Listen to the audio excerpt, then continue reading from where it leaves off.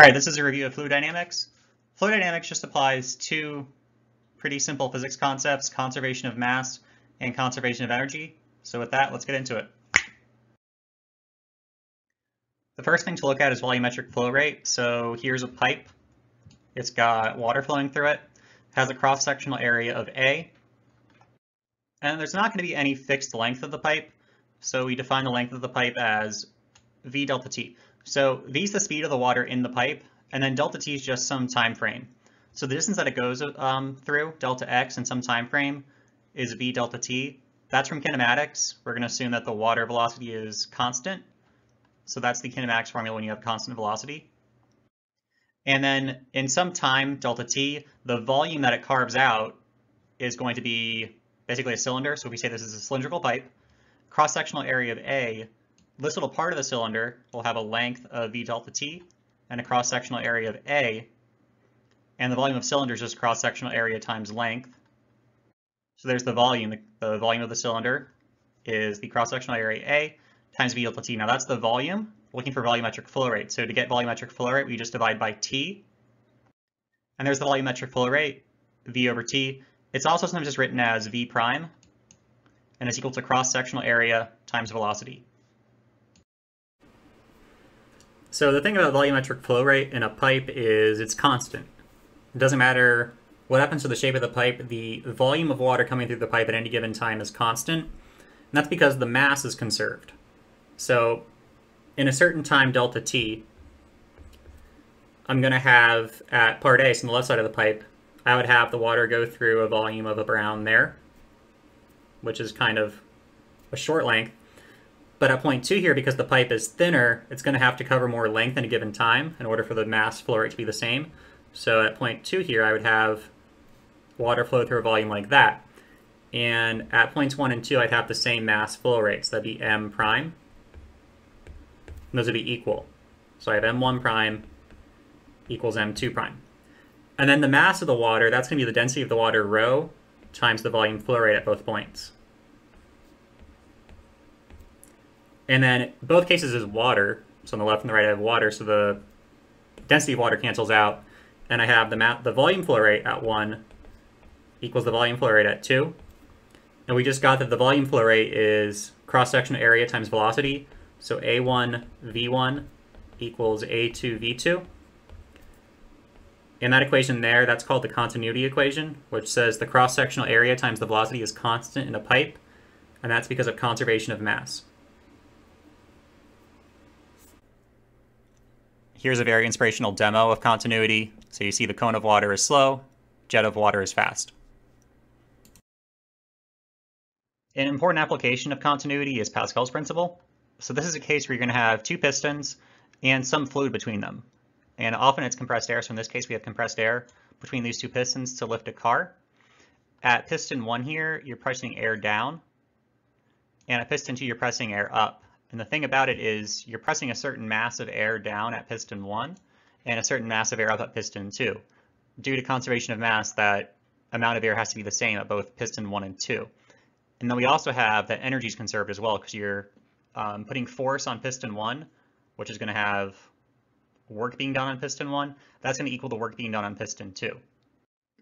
So in both cases, you're moving air a distance of d1 at piston 1 and d2 at piston 2, and you're applying different forces. You're applying a smaller force at piston 1 than at piston 2. That's why you use these is in order to apply a small force to create a big force. Okay, um, so what I have right there, F1 D1 equals F2 D2, that's just basically conservation of energy. Um, so I'm doing work at 1, so at, at piston 1, work is being done on the piston, and then piston 2 is basically doing work on the car, and that's because we do work here to press this piston down. That does work to press this piston up. There's no non-conservative forces here, so energy is conserved, so the work done on the left equals the work done on the right. So you have basically the works being the same, which means that the force times the distance is the same for both the left and the right pistons. So there's the area of the two pistons, A1 and A2. And because of continuity, you're pushing down a certain mass and therefore volume of air at piston 1. So you're pushing up that same volume of air at piston 2. And the volume would be that distance times the cross-sectional area. So the volumes of each piston are equal. Okay, so that's the second equation. This basically says the volume pushed down at 1 equals the volume pushed down at 2. So A1 D1 equals A2 D2. And then we have two equations that we want to combine to get eventually Pascal's principle. So that's the second equation solved for D1. So D1 equals A2 over A1 times D2.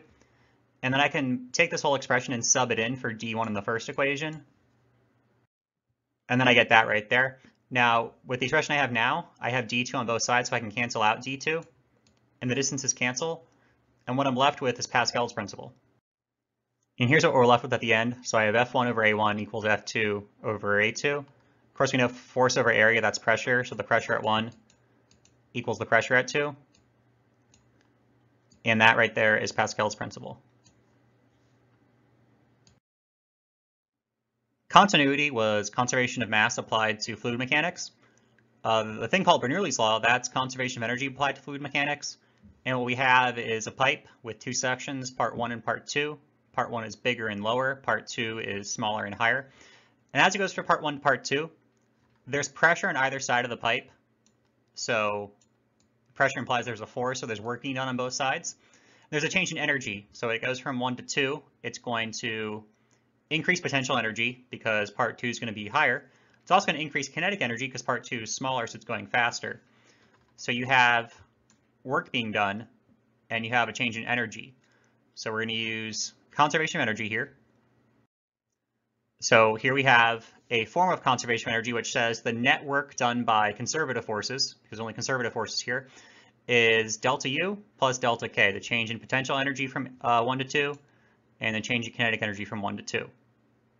So let's start off and look at the net work being done in this system. So on both sides of the pipe, there are pressures. There's pressure at one, pressure on two, because basically you have forces going in on both sides. Now there's F1 and F2. And again, those are, those are forces. To find work, you have force times distance. So again, taking a certain snapshot in time, it's going to go through a distance delta x on both sides. On the left side, again, because mass flow rate's constant, it's going to be a smaller delta x on the right side in order to have constant mass flow rate. And then there's the work done on the left. So the work done on the left at point one is F1 delta X. It's positive because on the left you have a force going in on the system. If we say the pipe, um, water's flowing from left to right, that force on the outside is going to be a positive force, so the work is positive, F delta X1. And then pressure is force over area. So force is pressure times area.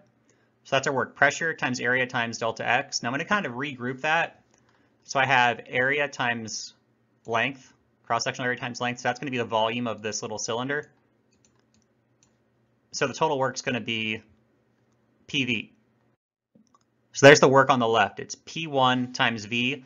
I'm not going to denote V with a subscript there because the volume of this cylinder on the left is the same as the cylinder on the right. So it's a constant volume flow rate. So we're not going to have V1, we're just going to have volume for the water. Now let's look at the right side. Um, very much the same stuff except for here. Again, water flowing from left to right. The outside pressure, so the outside force on the right side is going to be inwards. So that's going to be a negative work, but otherwise it's the same. So there's the work done on the right side. Everything's the same, except for it's negative. Uh, again, still the same volume. So we have negative P2V for the work done in section two of the pipe. Now for the network, you just add up the work from the left and the right side. So it's P1V, the positive work, minus P2V, the negative work. Now let's look at the change in potential and kinetic energy.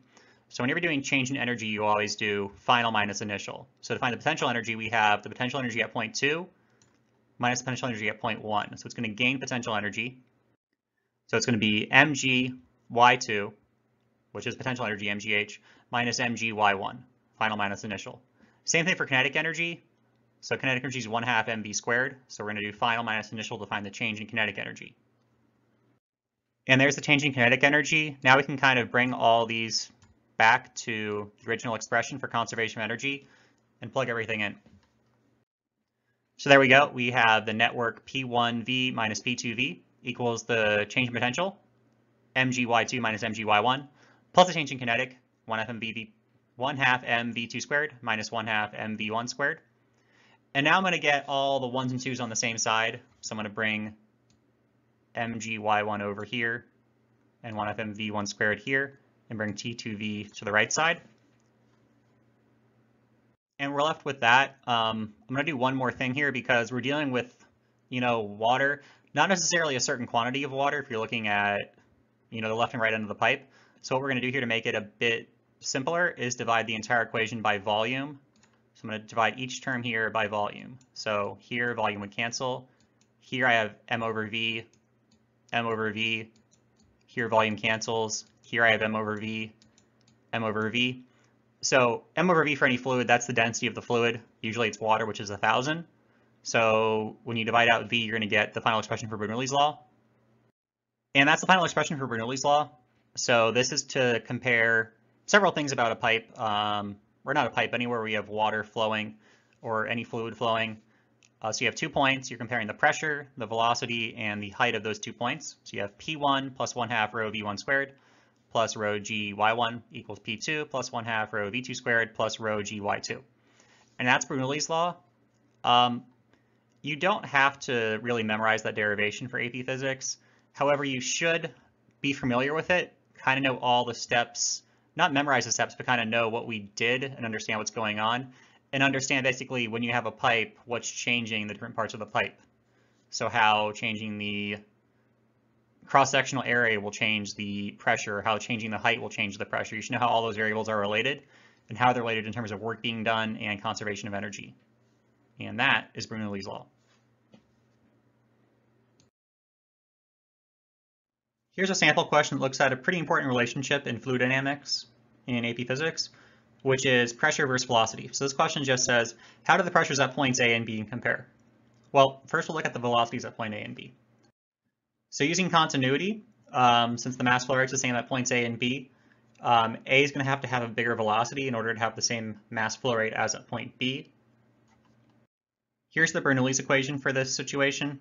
Now for points A and B, they both have the same height. There's no height difference there.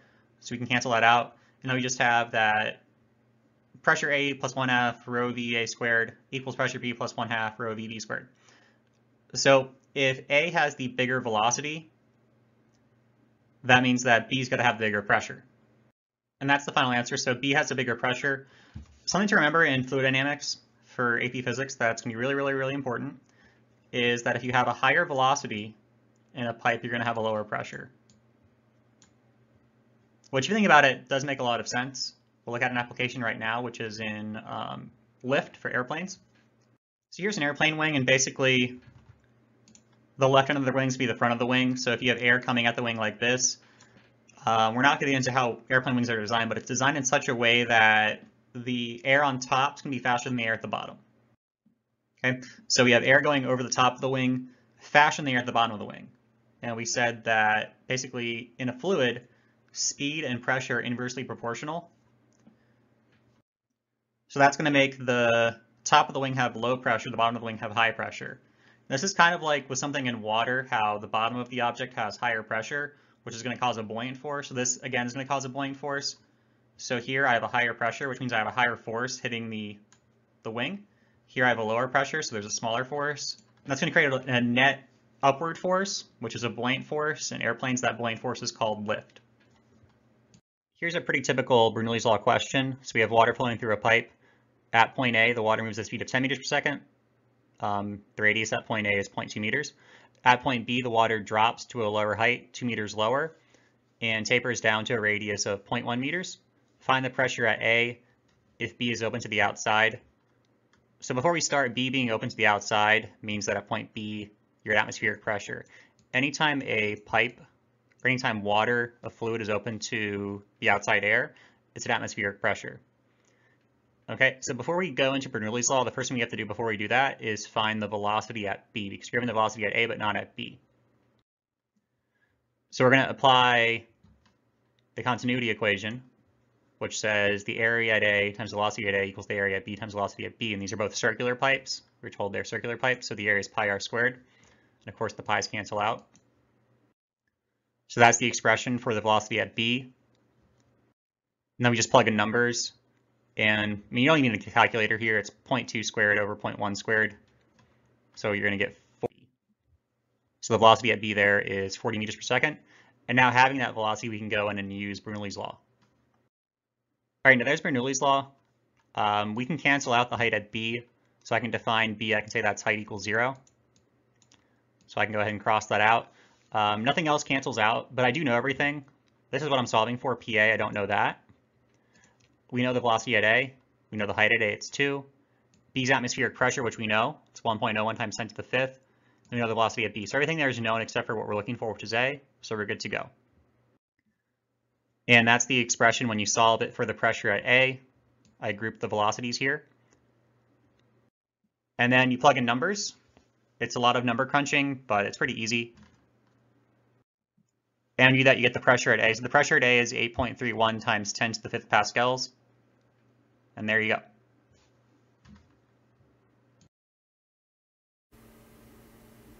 All right, so Torricelli was another Italian guy, and he looked at how water, how fast water comes out of a container if you have a hole in the container if it's filled to a certain height. There's a theorem, so we're going to make an assumption here that's going to be pretty important. So this is a tank filled with water to a height of h, and there's a hole that is a distance of y above the bottom of the container. And this is really important. We're going to assume that changes in the water level are negligible, and we'll get to that in a minute. So we're trying to find out how fast water leaves this hole here. It's going to leave horizontally, which is its own thing. You can do projectile questions with this, which we're not going to go into on this. Um, so at point one, there's pressure at point one here. And then point two was where it leaves. So here's the pressure at point two. It's going to leave with a speed at point two of V2. And we'll go ahead and apply Bernoulli's law to find out what V2 is. So P1 plus 1 half rho V1 squared plus rho GH, that's the height at point 1, equals P2 plus 1 half rho V2 squared plus rho GY. That's the height at point um, 2. And then we just have that assumption there. Assume changes in the water level are negligible. That means that the speed up here at point 1 is 0, so we can cross that out. There's no change in the water level, so there's no velocity at point one because the water is not moving down there. And then we can cross out something else as well. We can cross out P1 and P2. And that's because they're equal. P1 and P2, both these points here, P1 and P2 are open to the atmosphere. So that means they're both atmospheric pressure. So if I have atmospheric pressure on both sides of the equation, atmospheric pressure is going to cancel out. So now I'm left with rho GH equals 1 half rho v2 squared plus rho gy.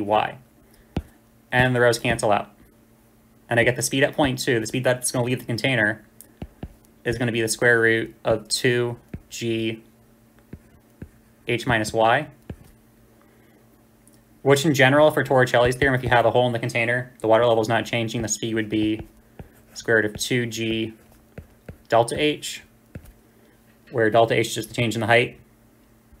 Now this is only true if the top of the container is open to the atmosphere, so keep that in mind if you're using this theorem. This is only if the top of the container is open to the atmosphere. And some other things about Torricelli's theorem to know about, um, the deeper the hole is, so like the bigger the water has to fall, the faster it's going to leave the container, which is pretty obvious. And then something the AP exam likes to talk about is, you know, for the horizontal range, this range delta x, when is that maximized? Well, yes, the deeper the hole is, the faster the water is going to be, but also the less time it's in the air. So it's going to have its maximum range exactly halfway to the top of the water level. And that's Torricelli's theorem. And that is it for fluid dynamics.